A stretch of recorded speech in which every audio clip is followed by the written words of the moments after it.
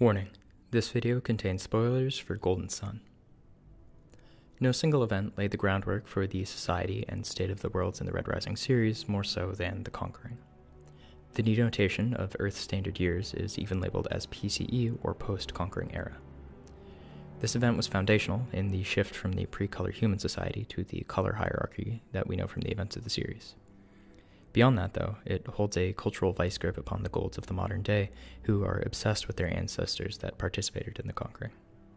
Among the most traditional and prestigious golds, being called an iron gold, in reference to the conquerors, is an honor similar, and in some cases seemingly higher, than the formalized caste of the Peerless Scarred. While we wait for Lightbringer and Red God to come out, I find this to be the kind of analysis that helps keep me immersed in the world and ready for their releases. While I'm hoping this and any of my videos stay accurate and relevant past those releases, there is the possibility of retcons or simply elaboration in detail that could change or add to some of the information I've compiled here. I intend, at some point after the series is concluded, to create a full timeline leading up to 736 PCE, or the start of Red Rising, but I think a brief overview of human history leading up to 0 PCE is important for discussing the subject at hand. So, without further ado, let's get into the events leading up to the Conquering.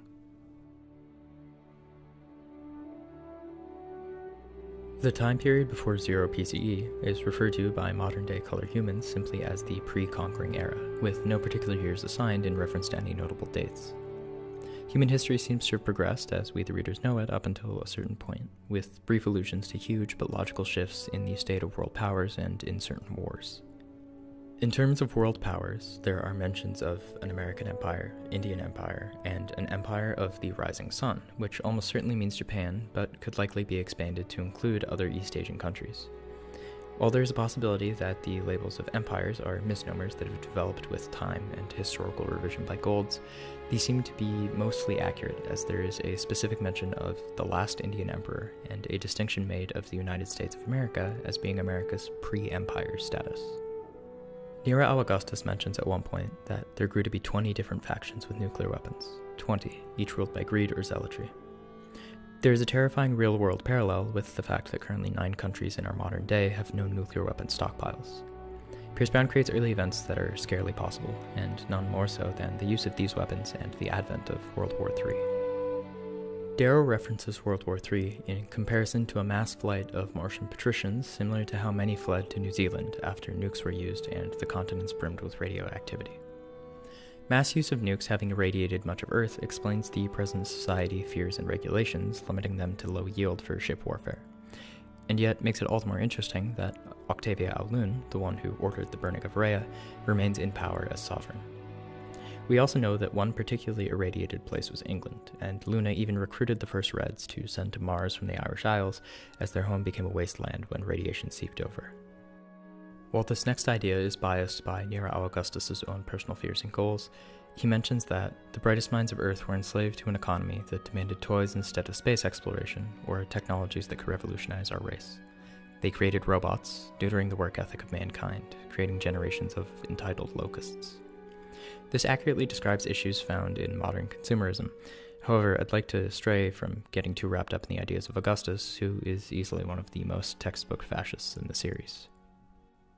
Somewhere alongside all these events, the colonization and expansion to Luna and its establishment as the port through which to colonize the solar system occurred.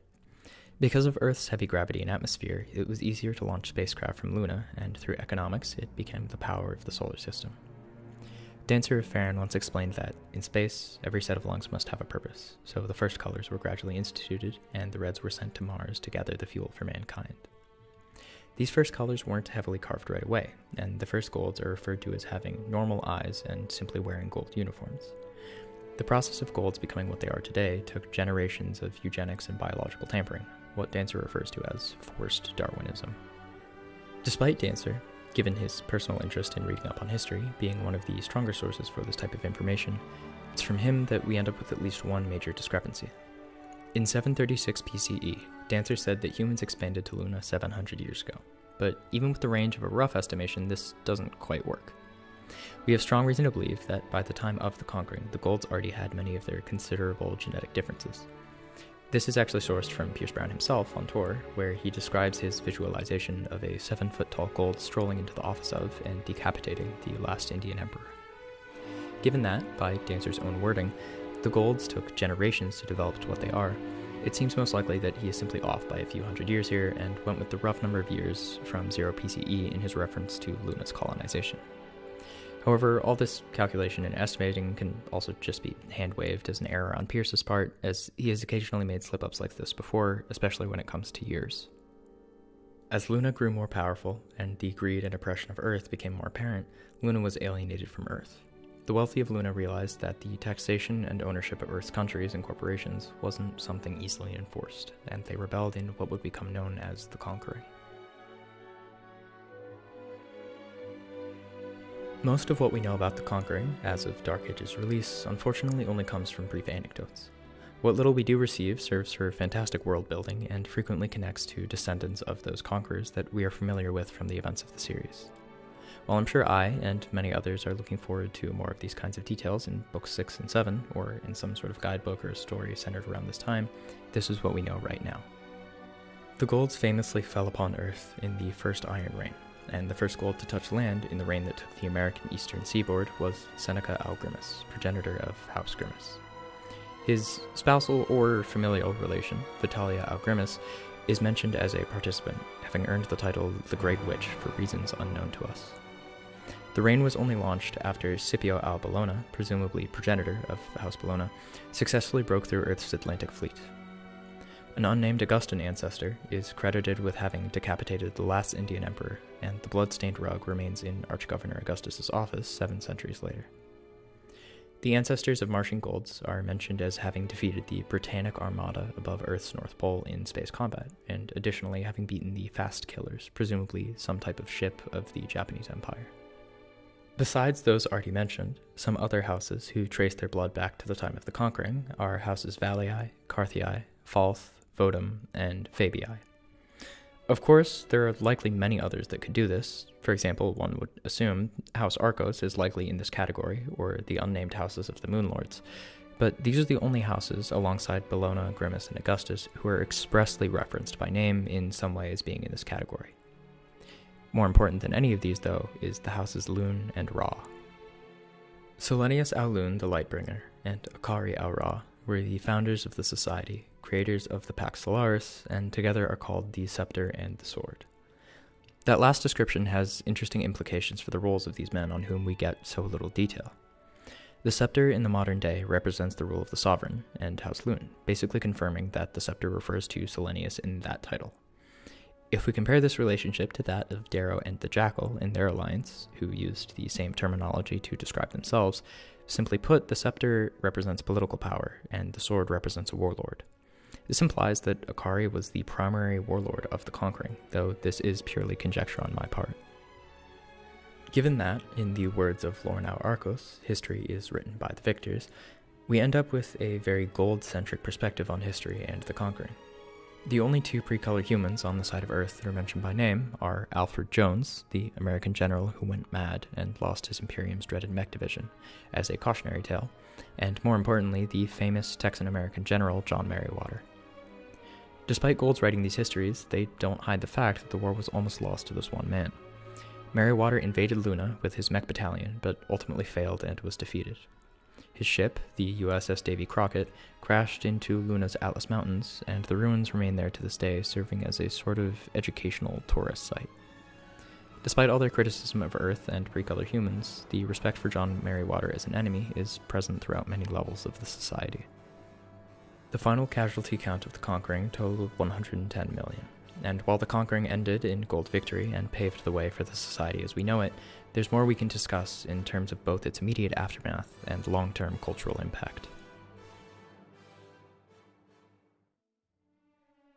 One of the first actions taken after the success of the conquering is also one of the more horrifying events in the history of the society a bloodless genocide of the remaining population on Earth. Having defeated Earth's militaries, the civilian populations still lived on the planet, and instead of massacring, imprisoning, or even converting them to the color hierarchy, they chose a brutal yet efficient and violence free solution. The gold sprayed a chemical called solacene into Earth's troposphere, which neutered the entire population. It's hard to conceive of what the end of those people's lives was like. Imagine being one of the last children ever born and watching over decades as the population declines, smaller and smaller groups of humans cluster together to wait out the end of their species, and being one of the last utterly lone people, the opportunity for legacy in life completely stripped away from you as eugenically crafted superhumans wait above your head to take the land that belonged to you and your people for thousands of years. That isn't an idea that's explored in the series in depth, but I found it a particularly sobering image when I first read about it, and I believe it's worth mentioning to put things into perspective.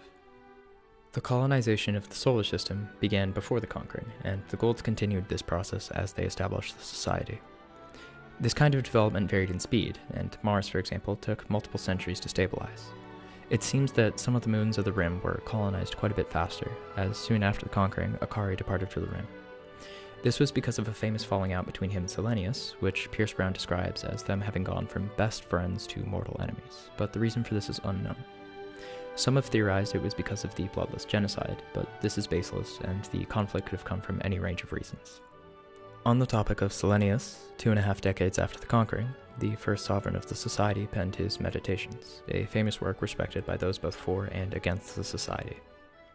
While the books in the series don't often include selections from in universe texts, and Pierce more often uses quotes from modern day characters or classical texts, we do actually end up with a selection from the Meditations at the beginning of Part 4 of Dark Age. It reads The world is a maze without a center. Become it or be forever lost. The final, relatively immediate aftermath of the conquering was the death of the last pre colored humans on Earth somewhere around a century later.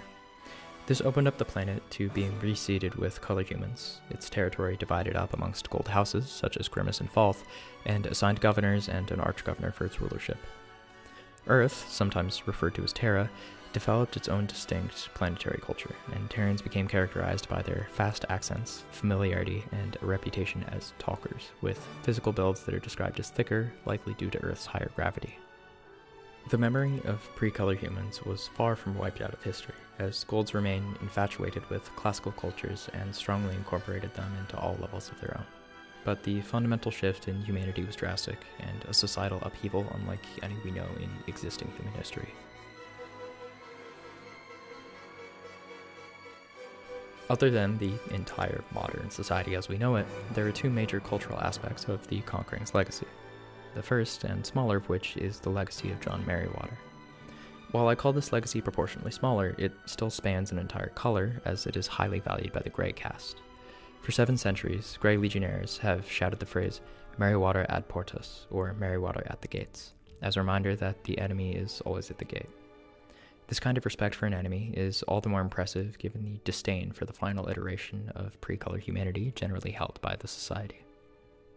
The legacy that permeates all levels of society is that of the conquerors themselves, the first Iron Golds, the noble champions of old. While the Golds have a strong obsession with Greco Roman culture and mythology, they are utterly enraptured by the conquering.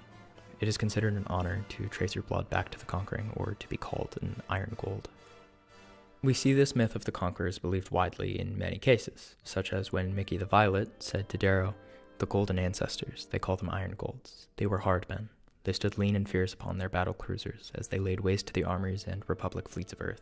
What creatures they were. The Golds themselves have this so deeply ingrained that they make constant allusion to the hardness of iron as they connect it to this lineage. Darrow uses it to describe Sovereign Octavia au Lune as hard, cold, a gold woman of iron and stone.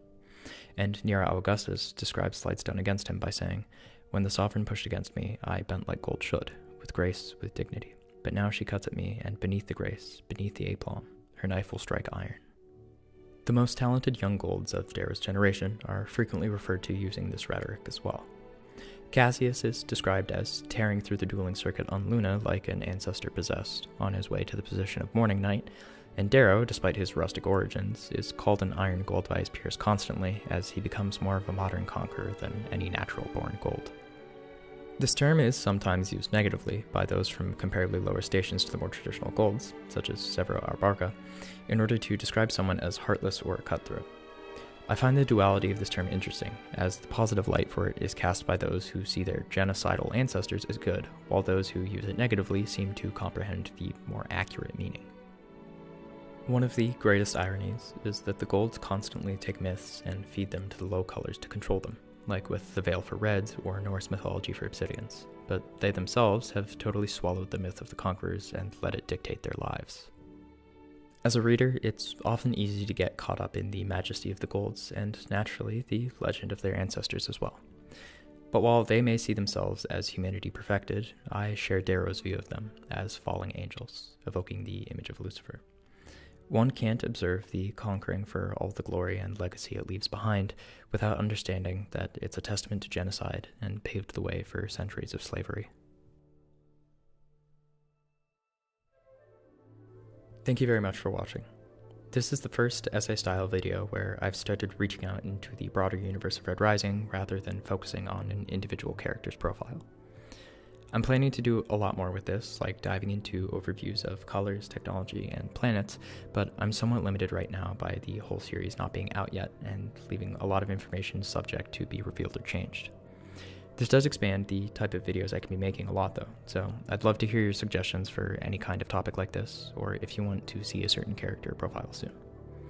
Any feedback or criticism is greatly appreciated, so please feel free to leave a comment, and I hope you enjoyed.